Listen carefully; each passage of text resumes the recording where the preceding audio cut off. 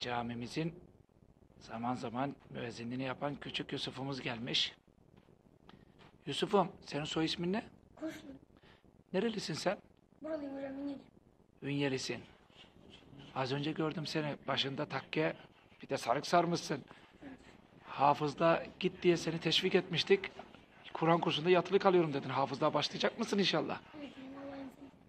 Hangi hocada okuyorsun? Ahmet Koç.